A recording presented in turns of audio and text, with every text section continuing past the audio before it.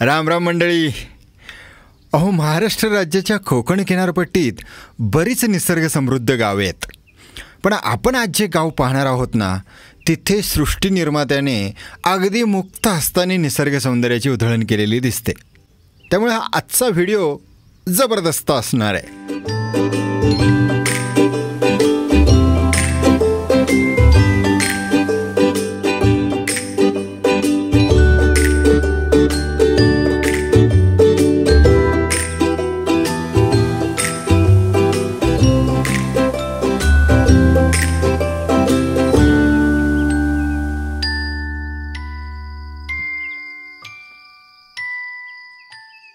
आजचा व्हिडिओ असणार आहे रत्नागिरीतील जांभरुण या गावचा.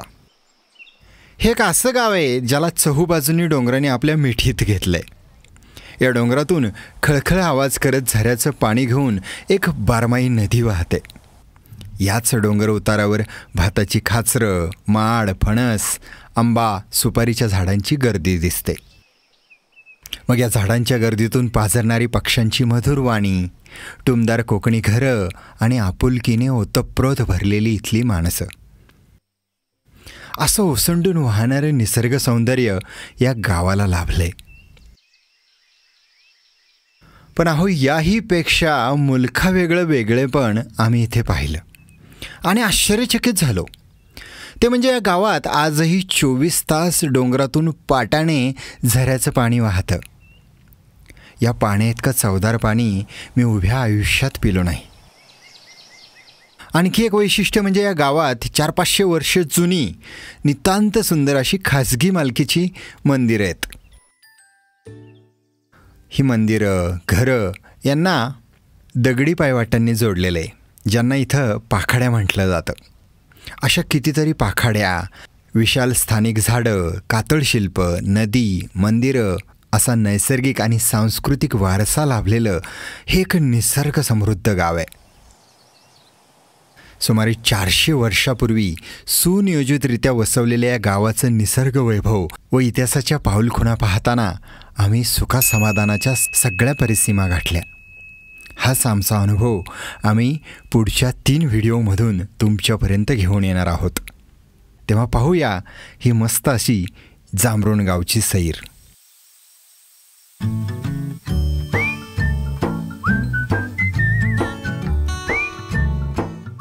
पुणे कोकरूड मलकापूर आंबाघाट निवळी गणपतीपुळे रोडने कोतवडे फाट्यावरून डावीकडे वळून जामरोनला पोहोचलो. आता तसा सरळ रस्ता पुढे यायचं. ठीक ठीक ठीक. पुणे ते जामरोण हे अंतर तीनशे चौदा किलोमीटर तर रत्नागिरीहून हे अंतर साधारण चोवीस किलोमीटर आहे. गावाजवळ आलो तशी हे ठिकाण पाहण्याची उत्सुकता वाढली. वाटेतच दिपेश थांबून आमची वाट पाहत होता. कोकणी गावे वस्त्यामागे टाकत झामरून कॉटेजेसला पोहोचलो. हिरवीगार झाडी आणि आंब्याच्या बागांमधून डोंगरावरच्या आंब्याच्या बागेसमोर गाडी येऊन थांबली. डोंगर उतारावरच्या नदीच्या काठावर गर्द झाडीमध्ये जामरोण कॉटेजेसची ही घरं सामावली आहेत.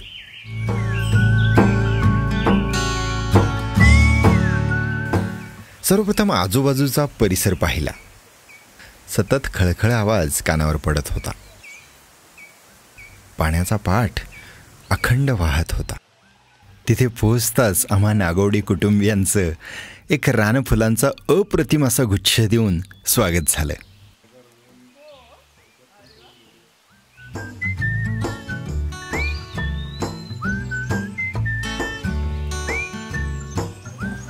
अहो इथे आजूबाजूचा परिसर पाहतच राहिलो.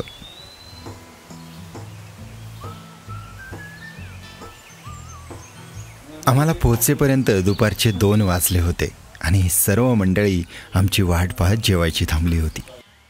त्यामुळे पानं वाढली गेली. केळीच्या पानाभोवती रांगोळी काढून एक एक पदार्थ गर्दी करू लागला. तेव्हा गदी माडगुळकरांची काय वाढले पानावरती ऐकून घ्यावा थाट संप्रती ही कविताच आठवली. या मंडळी दुपारचं जेवायला अगदी अस्सल कोकणी जेवण जेवतोय. केळीच्या पानावरती आळूची वडी कोबीची भाजी. स्वीट डिश आपल्याला गाजराचा हलवा आहे. हा स्पेशल आयटम आहे शिकरण आहे हे. चिबूडचं हे शिकरण आहे. हा टरबुजाचा भाऊ आहे असं कळलंय. आता बघूया काय कशी चव आहे याची. भात आमटी आणि कोशिंबीर लोणचं आणि पापड. चला भूक लागली सुरुवात करतो पहिली. इथल्या पिण्याचं झऱ्याचं गोड पाणी हे खऱ्या अर्थानं मिनरल वॉटर भासलं. अहो हे पाण्याचे पाट म्हणजे जिवंत झऱ्याचं वाहणारं पाणी. आजही गावात घराघरात हे पाणी सुरू असतं. काय आश्चर्य आहे ना? येथील सितूत कुटुंबीय मोठ्या आपुलकीने जेवू घालतात. भरपेट जेवण झालं.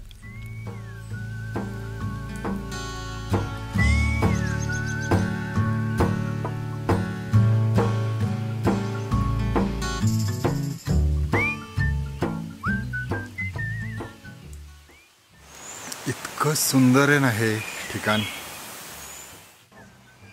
मग खोलीमध्येच सामान ठेवून घेतलं. ही घरं जांब्याची मातीची बांधलेली आहेत.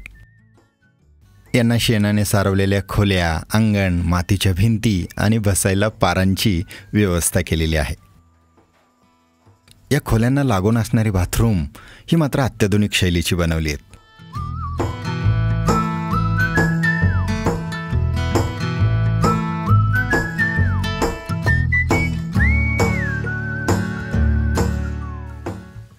इथे नैसर्गिक साधन सामग्रीचा पुरेपूर वापर केलेला दिसतो.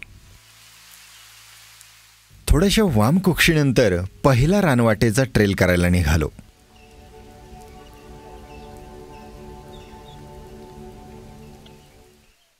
चहा पिताना केळकर काका जांभरूंची प्राथमिक माहिती देत होते. तो अख्खा दिवस नाश्ता करायचं जेवायचं. निवांत इथेच पहिला त्यांना एक सकाळचा लिजर टाइम की रात्रभर प्रवास असतो म्हणून लगेच काही ट्रेन नाही. आणि दुपारी चारचा आपण हा ट्रेन केला पहिला करतो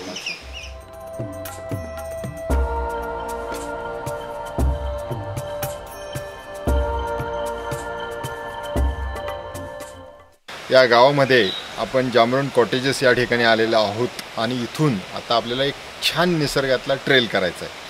आता हा ट्रेल करण्यासाठी आपल्याबरोबर आज केळकर सर आहेत आणि आपण त्यांच्याकडून पहिल्यांदा जामरुण किंवा जामरुण कॉटेजेस हे नक्की काय आहे आणि कशी सुरुवात झाली या सगळ्या गोष्टी ऐकूया. मी पण खरं तर तुमच्यासारखा पुण्या मुंबईत राहिलेला माणूस आहे. पुण्यातनं मी सत्तावीस वर्ष पुण्यात राहिलो शहरी होतो. आणि पहिल्यांदा काहीतरी उद्योग करायचा म्हणून आंबे विकायला सुरुवात केली त्यातनं मला जांभरूणपर्यंत ते आंबे विक्रीचा व्यवसाय मला जांभरूणपर्यंत घेऊन आला. अच्छा. सत्त्याण्णव साली मी इथे आंब्याची बाग घेतली.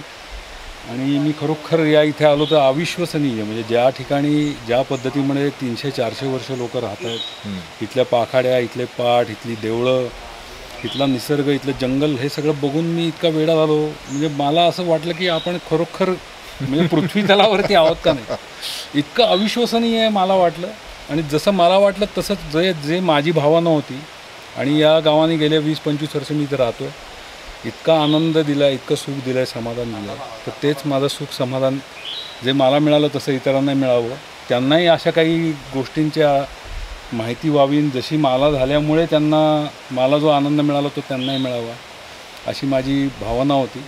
सस्टेनेबल डेव्हलपमेंटबद्दल आपण फक्त बोलतो पण खरोखरची सस्टेनेबल डेव्हलपमेंट काय असते ती मला इथे जांभूळमध्ये बघायला मिळाली. हा इथला पाट आहे हा पाट चारशे वर्ष वाहतोय. आणि त्या पाटावरती चारशे वर्ष इथली लोक राहत आहेत still we are surviving off this water आणि अजून या पाण्यावरती लोक सर्वाईव्ह करतात इतकी वर्ष. विशेष याच्यापेक्षा काय अजून सस्टेनेबल असू शकतं? खरं आहे. आणि मला जी एक्साइटमेंट मी पहिल्यापासून मी इतके वर्ष इथे येतोय प्रत्येक वेळेस आलो की मी तितकाच एक्साईट होतो जेवढं तुम्ही एक्साईट आहात तेवढं मी पण एक्साईट आहे. हे सगळं परत परत बघा. आम्ही प्रचंड एक्सायटेड आहोत. आम्ही आलो ना आल्यापासून सगळ्या गोष्टी नुसत्या पाहत बसलोय. आणि जबरदस्त जेवण झालं होतं अक्षरशः डोळ्यावरती सापडली होती. आता ती थोडासा आराम करून दुपारी छान असा तर ट्रेल करताय करायचं आहे झाडांमधून आंब्यांच्या बागांमधून. आणि गाव पाहायचं आहे आपल्याला आता सर घेऊन जाणार आहेत. तिकडेच जायचं आपण. मी जेव्हा त्यांना या पाटाच्या पाण्याबद्दल विचारलं त्याच्यात नाही म्हणजे हे जिवंत झऱ्याचं जिवंत पाणी. झऱ्याचं पाणी आहे. तर त्या झऱ्यांची रेकी केली आहे. त्या बरं. झऱ्यांची रेकी करून तिथनं लेवल्स काढले आहेत बर. त्या लेवल्स काढून त्या लेवल्सवरनं ते पाठ फिरवलेत.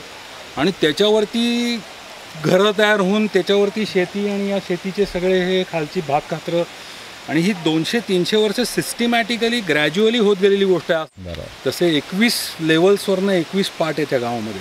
त्यातला एक पार्ट आहे हा आपण आता बघतोय. आणि आपण जे आपण म्हणतो बारा बरुतेदार सिस्टीम हो तर तशी इथे पहिल्यापासून आहे आणि या प्रत्येक जाती धर्माला आपण म्हणतो जसं इथे तेली आहेत. तिथे नंतर ब्राह्मण आहेत. कुंभी आहेत तर प्रत्येक समाजाचे प्रत्येक त्या वावरातनं प्रत्येक त्या पाखा त्यांच्या त्या वठारातनं त्याला वठार म्हणतात किंवा वाड्या वस्त्या म्हणतात. त्या वस्त्यांमधनं त्यांचे त्यांचे पाठ गेले बरं बरं अशी ती सगळी व्यवस्था आहे बरं. पूर्वापार चालत आले पूर्वापार चालत आली ओके चला. या जामरुण गावचे ग्रामस्थ शितूत कुटुंबीय आणि केळकर काकांनी या गावचा वारसा जपण्यासाठी पर्यटकांसाठी वेगवेगळ्या नेचर ट्रेल्सची रचना केली आहे. हे सर्व नियोजनबद्ध सुरू असतं. या जामरुण कॉटेजची जागा अत्यंत मोक्याची जागा आहे. इथूनच सर्व ट्रेल्स सुरू होतात आणि इथेच संपतात.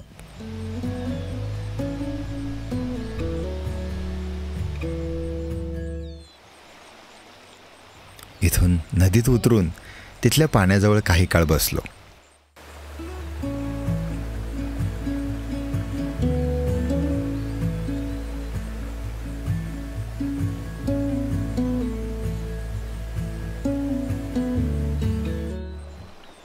पाण्यात सूर्याची किरणं मस्त चमकत होती.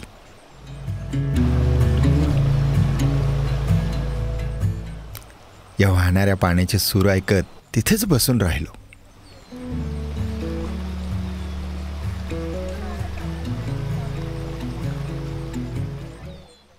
केळकर काकांच्या मते हा निसर्गातला बाटप जिथे मस्त पोहायचं. आपल्या जामरण कॉटेजच्या समोरच हा ओळ आहे आणि या ओळामध्ये आता इकडे आंघोळ करायची असते. हा नॅचरल बाथटब आहे. मस्तपैकी जाकुजीचा इफेक्ट पण तुम्हाला मिळतो. आणि आणखी एक महत्त्वाचं म्हणजे या ठिकाणी तुम्हाला फिश पेडिक्युअर पण करता येतो. त्यामुळे पाण्यामध्ये जर पाय सोडून आपण बसलो तर छानपैकी छोटे छोटे मासे आता ते गुदगुली करतात. ते छोटे छोटे मासेसुद्धा इथे येतात आणि मग ते आपल्या पायाला छोटे छोटे अतिशय छोटे छोटे डंक मारतात. याला फिश पेडी फिश पेडिक्युअर म्हणतात. ही एक थेरपी आहे खरं तर प्रसिद्ध अशी. खूप सारे पैसे खर्च करून तुम्हाला ही फिश पेडिक्युअर थेरपी करावी लागते.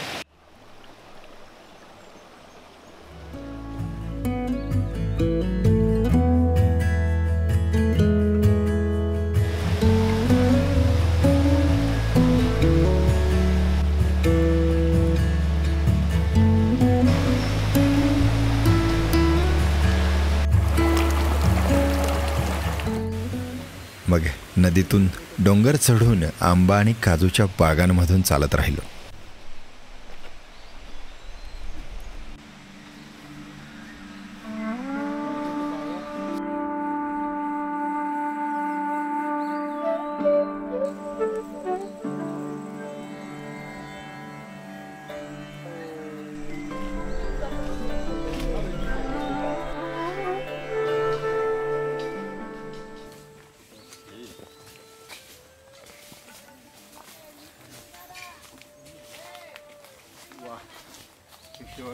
या बागातून गवत काढायचं सफाईचं काम सुरू होतं. फांद्यांवरचे कलर पाहिलेच का?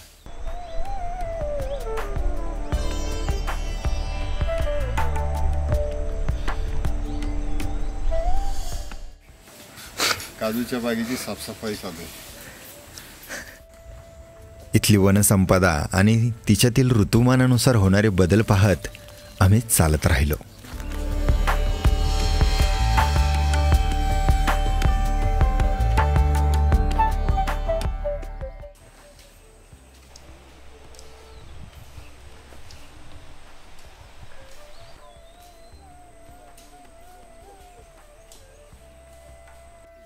करवंदाचे झाड आहेत ना? म्हणतात. ते अंगाला चालताना दीपेश आणि केळकर काका प्रत्येक गोष्टीची आम्हाला माहिती देत होते.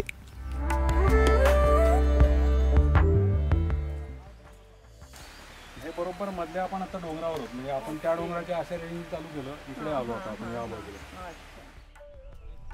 या रानवाटांना रानफुलांनी अक्षरशः सजवलं होतं.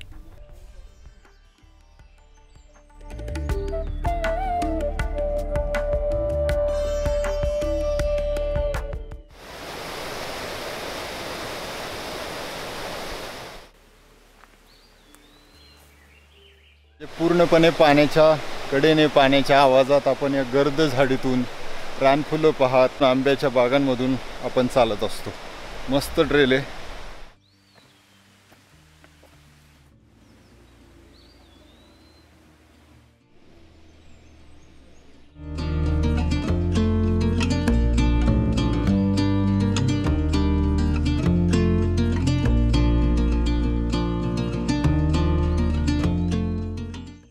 काही काळ चालल्यानंतर नदीवरचा पूल आणि गावातली घरं दिसू लागली.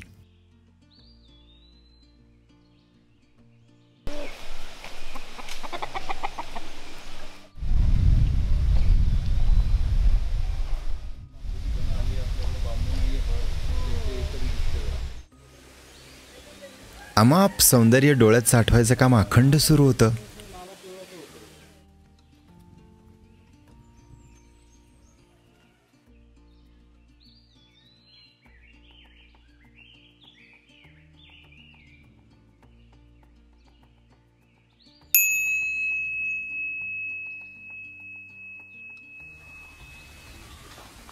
मित्रांनो असं म्हणतात ना पर्यटन ह्या अनुभवण्याची गोष्ट आहे. आणि खरोखर तो जबरदस्त असा अनुभव मी या ठिकाणी घेतो आहे शेतांमधून जे नैसर्गिक पाठ होते पाण्याचे ते पाण्याचे पाठ पाहत शेती पाहत नंतर आम्ही घरं सुरू झाली जांभरुणातली. आणि त्या घरांमधून वाहणारे नैसर्गिक ओढे अर्थात ओहोळ किंवा झरे आणि त्याचं स्वच्छ असं पाणी आणि त्याच्यामध्ये ही सुंदर अशी हिरवीगार गर्द झाडी त्याच्यामधून पाखाड्या चालण्याच्या वाटा. खूप सुंदर आहे गाव. इथे दिसणारी जुनी घरं झरे आणि मोठमोठी झाडं फार पाहण्यासारखी होती.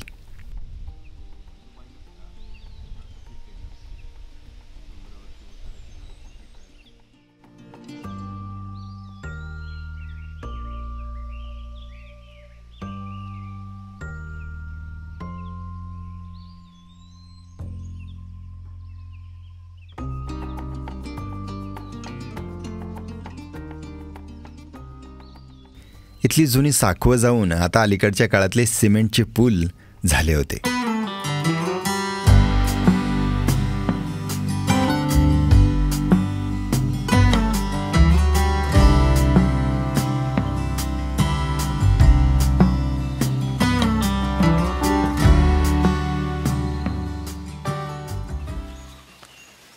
हा सगळा ट्रेल करताना मनाला एक छान असा तजेला जाणवत होता. अहो काय काय निसर्ग चित्र पाहिली सांगू तुम्हाला? हे सगळं पाहून आता पुढे चालल्यानंतर गावचा रस्ता लागला.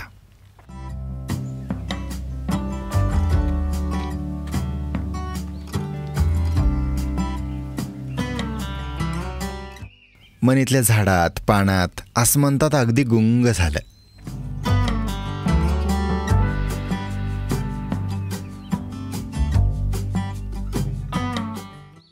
पुढून पाखाडीवरून आम्ही नदीकडे वळालो.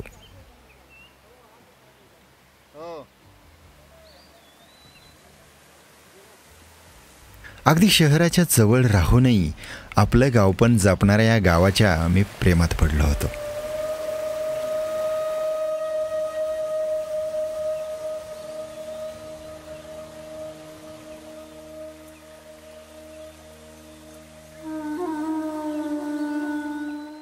ही जागा तर माझ्यासाठी आनंदाची डोही आनंद तरंग ठरली.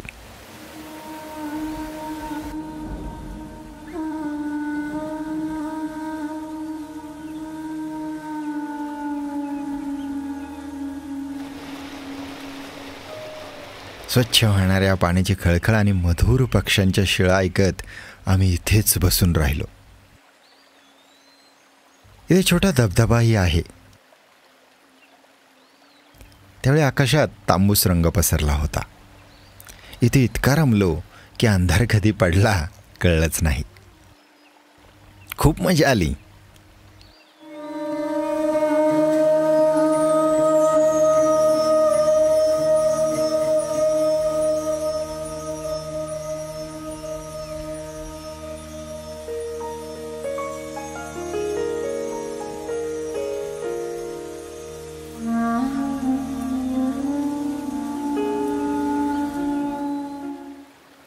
आज जे काही पाहिलं अनुभवलं होतं ना ते फारच कमाल होतं. एखाद्याने इथे यावं इथल्या सानिध्यात रमावं. निसर्ग निरीक्षण करावीत टिपणं लिहावीत. हवंच तर एखाद्या चित्रपटाची कथा कादंबरी लिहावी. आपल्या सगळ्या प्रतिभांना इथे वाट मिळेल. फान हरपून जाईल असं निसर्ग आणि माणसाचं नातं आपल्याला इथे जाणवेल. आणि या सर्वांनंतर जे काही मनात उरेल ना ते केवळ समाधान आणि आत्मिक आनंद. आणि आनंदाने जगायला तेच हवं आहे की.